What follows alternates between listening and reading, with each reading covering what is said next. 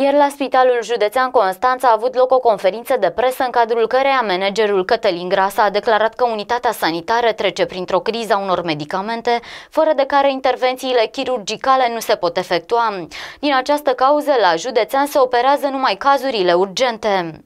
Directorul Spitalului Clinic Județean de Urgență Constanța a declarat că această criză a medicamentelor miorelaxante a apărut săptămâna trecută și că în unitatea sanitară vor fi operate numai urgențele.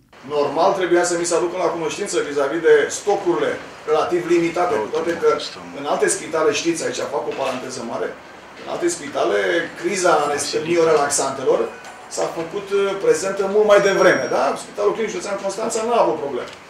Dar în egală măsură, săptămâna trecută, că asta e, dacă sunt chirurg și sunt medic, mă plimb în spital și am dreptul să întreb și să văd ce facem, mai ales în această zonă, că sunt chirurg. Iar uh, intervențiile chirurgicale fără miorelaxante nu se pot desfășura.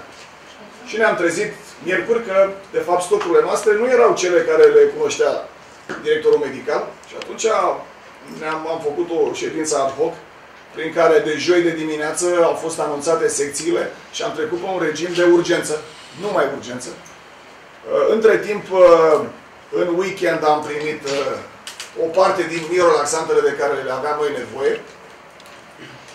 Astăzi mai vin iară tracul în mâncă vreo 250, dar și această săptămână o vom ține cumva, să spunem, pentru urgențe, iar de lunea viitoare vom trece pe un program normal și pacienții cronici să fie operați. Între timp, pacienții care au fost internați cronici nu au fost externați și au rămas în continuare în spital și au fost operați. Situația pare să se rezolve, dar va mai dura o vreme până când unitatea sanitară va avea stocuri suficiente pentru toți pacienții, inclusiv pentru cei cronici.